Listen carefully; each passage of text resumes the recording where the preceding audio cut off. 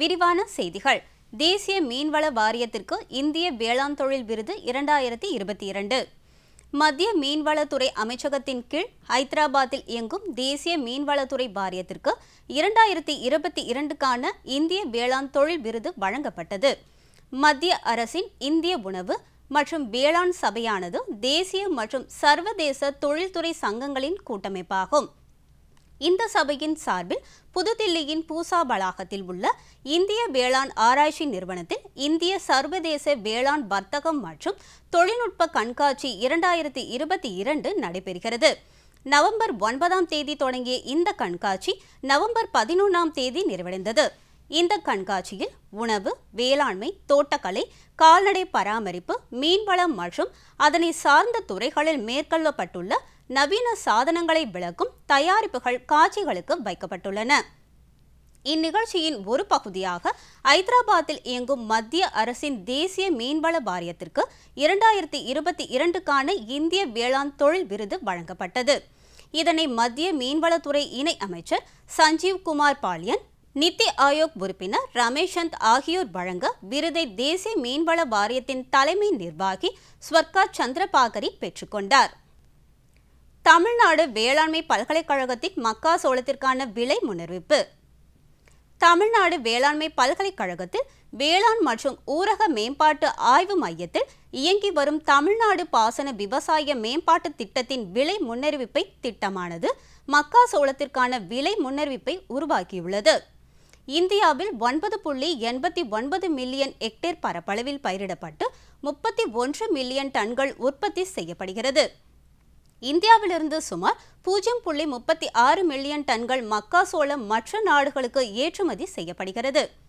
இந்தியாவில் கர்நாடகா மத்திய பிரதேசம் மகாராஷ்டிரா தமிழ்நாடு மேற்கு வங்கம் ராஜஸ்தான் மற்றும் பீகார் ஆகிய மாநிலங்கள் மக்காசோளத்தை அதிக அளவு பயிரிடுகின்றன. நேபாளம் பங்களாதேஷ் மியான்மர் பாகிஸ்தான் மற்றும் பூட்டான் ஆகியவை மக்காசோளத்தை ஏற்றுமதி செய்யும் முக்கிய நாடுகளாகும். தமிழ்நாட்டில் சேலம் திண்டுக்கல் நாமக்கல் புதுக்கோட்டை திருப்பூர் விழுப்புரம் பெரம்பலூர் மற்றும் அரியலூர் ஆகிய மாவட்டங்களில் அதிக அளவில் மக்காசோளம் பயிரிடப்படுகிறது. வர்த்தக மூலங்களின்படி மக்காசோளம் அதிகமாக பயிரிடப்படும் மாநிலங்களில் பயிரின் நிலைமை சீராக இருக்கிறது. கறிக்கோழி மற்றும் முட்டையின் தற்போதைய விலை நிலவரம் மக்காசோளத்தின் விலையை அதிகரிக்கும் என்று எதிர்பார்க்கப்படுகிறது. மேலும் அதிகரிக்கும் விலையானது ஏற்றுமதி செய்யப்படும் நாடுகளை பொறுத்து அமையும். தென்னிந்திய மாநிலங்களில் மக்காசோளத்தின் மகசூலில் வடகிழக்கு பருவமழையின் தாக்கம் இருக்கும் எனவும் நம்பப்படுகிறது. விலை முன்னறிவிப்பு திட்டமானது கடந்த இருபத்தி ஏழு ஆண்டுகளாக உடுமலைப்பேட்டை ஒழுங்குமுறை விற்பனை கூடத்தில் நிலவிய மக்காசோளம் விலை மற்றும் சந்தை ஆய்வுகளை மேற்கொண்டது. ஆய்வுகளின் அடிப்படையில் தரமான மக்காசோளத்தின் பண்ணை விலையானது குவிண்டாலுக்கு ரூபாய் ஆயிரத்து தொள்ளாயிரம் முதல் ரூபாய் இரண்டாயிரமாக இருக்கும். எனவே விவசாயிகள் மேற்கூறிய ஆலோசனையின் அடிப்படையில் சந்தை முடிவுகளை எடுக்குமாறு பரிந்துரைக்கப்படுகின்றனர். தரமான மக்காசோளத்தின் பண்ணை விலையானது குவிண்டாலுக்கு ரூபாய் ஆயிரத்து தொள்ளாயிரம் முதல் ரூபாய் இரண்டாயிரமாக இருக்கும். எனவே விவசாயிகள் மேற்கூறிய ஆலோசனையின் அடிப்படையில் சந்தை முடிவுகளை எடுக்குமாறு பரிந்துரைக்கப்படுகின்றனர். இனி வருவது வேளாண் சாதனையாளர்.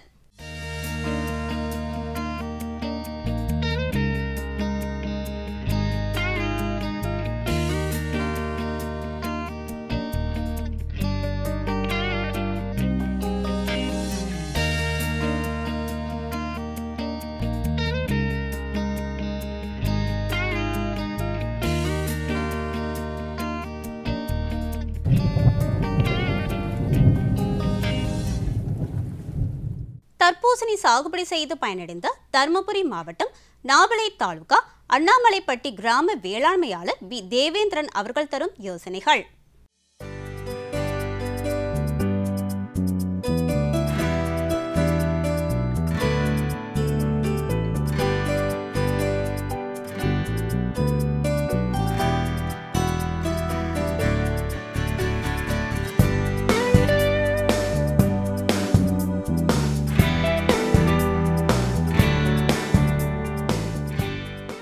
இந்த நிலத்துல வந்து நாங்கள் ஃபஸ்ட்லாம் நெல் கரும்பு அந்த மாதிரி பண்ணிகிட்ருந்தோம் இருந்தோம் அதில் வந்து சரியான வருமானம் இல்லாததுனால பின்னாடி காய்கறிக்கு வந்தோம். காய்கறி வந்து ஃபஸ்ட்டு தக்காளி மிளகா கத்திரி அந்த மாதிரி பண்ணிகிட்டு இருந்தோம் அதுங்கெல்லாம் பண்ணும்போது ஆள் ஆள் பற்றாக்குறை ஆள் அது அதிகமாக தேவைப்பட்டுச்சு கரும்பு நெல்லில் இருக்கும்போது எங்களுக்கு வருமானம் கம்மியாக இருந்துச்சு. அப்புறம் தான் நாங்கள் பாப்பாரப்பட்டியில் கேவிக்கு வந்த பின்னாடி அவங்க எங்களுக்கு கூப்பிட்டு இந்த மாதிரி சொட்டு நீர் பாசனம் அமைச்சு காய்கறி போடுங்கன்னு சொன்னாங்க. அவங்க அவங்களே ஃபஸ்ட்டு சப்சிடிலையும் கொடுத்தாங்க. கா இந்த சொட்டு நீர் பாசனமெல்லாம் சப்சிடிலே கொடுத்தாங்க. கு- கொடுத்து பிளாஸ்டிக் பொருளையும் ஃபஸ்ட்டே அவங்க கொடுத்தாங்க எங்களுக்கு ட்ரையல் ஃபார்ம் இந்த மாதிரி போட்டு பண்ணி பாருங்கள் உங்களுக்கு இது வந்து ரொம்ப சௌகரியமாக இருக்கும். ஈல்டு மகசூல் அதிகம் ஆகும். களை நிர்வாகம் கண்ட்ரோல் வரும் அப்படின்னு சொன்ன பின்னாடி நாங்கள் போட்டு பார்த்தோம். போட்டு பார்த்ததுனால எங்களுக்கு தண்ணியும் சிக்கனாச்சு இந்த களை கண்ட்ரோல் வந்ததுனால ஆள் கூலி இதெல்லாம் பிரச்சனை இல்லாத இருந்துச்சு. மல்ச்சிங் போடுறதுனால களை இல்லாததுனால பயிரும் நல்லா வீரியமாக வந்து மகசூலும் கூடி வந்துச்சு. எங்களுக்கு உரம் கொடுக்கும்போது மற்ற இடத்துல போகாமல் செடிக்கு மட்டுமே அதோட பயன் கிடச்சிச்சு. அதனால் எங்களுக்கு ஈல்டு ம மகசூல் வந்து நல்ல மகசூல் வந்துச்சு. ஒரு ஏக்கருக்கு வந்து நாங்கள் எடுக்கும்போது ஏழு டன் ஆறு டன் இந்த மாதிரி தான் ஃபஸ்ட் டைம் ஃபஸ்ட்லலாம் பண்ணிட்டு இருந்தோம். அப்புறம் இந்த பிளாஸ்டிக் போர் போட்ட பின்னாடி இருபதுலேருந்து இருபத்தஞ்சி டன் வரைக்கும் ஒரு ஏக்கருக்கு கிடைச்சதுங்க அதிலேருந்து நாங்கள் இப்போ இந்த முறையில் தான் நாங்கள் பயிர் பண்ணிகிட்ருக்குறோங்க ஃபஸ்ட்டு நல்லா உழவு எருவு போட்டு உழவு அடிச்சுட்டு அப்புறம் நல்லா இந்த மல்ச்சிங் போடுறதுனால இது ஒரு ரெண்டு பாகம் மூணு பாகம் இதுலேயே ரெண்டு கிராப் மூணு கிராப் இதுலேயே மாற்றி மாற்றி பண்ணிடலாம் செடியை மட்டும் எடுத்துகிட்டு திரும்ப விதை வச்சுக்கலாம். அதனால் வந்து நம்ம ஃபஸ்ட்டு எருவு அதிகமாக கொடுத்துக்குறோம். நார்மலாக கொடுக்குறத விட ஒரு அஞ்சு டன் ஆறு டன் கொஞ்சம் எருவு சேர்த்து கொடுத்துக்குறோம். அப்போ வந்து நம்மளுக்கு பின்னாடிக்கும் செடி கண்டினியூவாக அடுத்தடுத்து இப்போ வேச்சுக்கு நல்லா வந்துகிட்டே இருக்குங்க. அதனால் ஃபஸ்ட்டு எருவு கொடுத்து உழவு ஓட்டிட்டு டிராக்டர் விட்டு பெட்டு போட்டுறாங்க. பெட்டு போட்டு ஆறு அடிக்கு ஒரு பெட்டு மாதிரி ஆறு அடிக்கு ஒரு பெட்டு போடுறாங்க. இதில் வந்து நாலு அடிக்கு சீட்டும் ரெண்டு அடி சென்டர் க கேப்பும் வந்துடுங்க அப்புறம் ம விதை போட்டுட்டு பைப்பில் இது ஹீட் பண்ணி ஹோல்ஸ் போடுற மாதிரி வச்சுருக்குறோம். ஹோல்ஸ் போட்டு அந்த ஹோல்ஸில் விதை வச்சிடுறோம். அதை விதை வந்து அந்த ஹோல்ஸில் மட்டுமே வர்றதுனால மற்ற இடத்துல எங்கேயும் களை வரதில்லைங்க அதனால் நல்லா பிரச்சனை அந்த உள்ள டெம்பரேச்சர் அந்த ஹீட்டும் உள்ளே இருக்கிறதுனால வேர் வளர்ச்சி நல்லா இருக்கிறதுனால பயிர் நல்லா வருதுங்க. இதுக்கு தேவையான உரமெல்லாம் நீர்வழியில் தாங்க கொடுக்குறோம். அது எங்களுக்கு கேவிக்கேவில் புக்கை போட்டு கொடுத்துருக்குறாங்க. எந்தெந்த பயிருக்கு இவ்வளோ இவ்வளோ உரம் கொடுக்கணும் இந்தந்த டைம் டேபிள் போட்டு கொடுத்துருக்குறாங்க. அது ம- அது அந்த முறைப்படி நாங்கள் அந்த அளவில் கு- பயிருக்கு கொடுத்துருக்குறோங்க. மத்திய அரசோட உதவித்தொகை வருஷம் ஆறாயிரம் கொடுக்குறாங்க. அது மூணு மூணு பங்காக பிரித்து கொடுக்குறாங்க. எங்களுக்கு மூணு டைமுக்கு அது விதை வாங்குறதுக்கோ இல்லை உரம் வாங்குறதுக்கோ எங்களுக்கு அது உதவியாக இருக்குது. அதனால் எங்களுக்கு இந்த விவசாய செலவுக்கு கொஞ்சம் ஒத்துழைப்பாக இருக்குது. செலவு கொஞ்சம் குறைஞ்சி அது மூலிமா கொஞ்சம் பண்ணுற மாதிரி அது கொஞ்சம் எங்களுக்கு ஒத்துழைப்பாக இருக்குதுங்க. இது வந்து விதை வந்து நாங்கள் இங்கே பக்கமே தான் உரக்கடைங்களில் தான் வாங்கிக்குவோம். தேவையான இப்போ இது வந்து நான் இருக்கிறது வந்து டிராகன் எங்கள் சிஞ்சினா கம்பெனி இதுங்க. அறுபதாவது நாள் பயிர் அறுவடைக்கு வந்துடுங்க அப்போ வந்து நாங்கள் இங்கே பக்கம் இருக்கிற வியாபாரிங்களை தான் கூப்பிட்டு அவங்களுக்கு இங்கே இங்கே கொடுத்துருவோங்க தோட்டத்திலே கொடுத்துருவோங்க. அன்றைக்கி என்ன மார்க்கெட் ரேட் வருதோ அந்த மாதிரி போகுங்க. நாலு ரூபாயும் போகும் நாற்பது ரூபாயும் போகும். அன்றைக்கி மார்க்கெட் ரேட் என்னவோ அதை பொறுத்து வியாபாரம் பண்ணி கொடுப்போம் மற்ற விவசாயத்துங்களை பொறுத்த வரைக்கும் உங்களுக்கு ஆறு மாதம் ஒரு வருஷம் அந்த மாதிரி காத்துட்ருக்கணுங்க ஆனால் இதை பொறுத்த வரைக்கும் உங்களுக்கு அறுபதாவது நாள் நம்மளுக்கு க தோட்டத்தை விட்டு போயிடுங்க.